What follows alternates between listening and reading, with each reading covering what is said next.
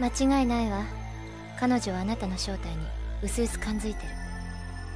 これ以上彼女を欺き通すのは無意味よ。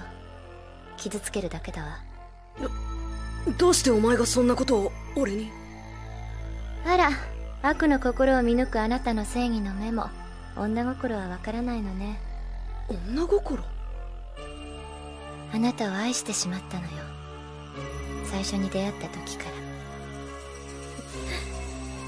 気づいてなかったのね。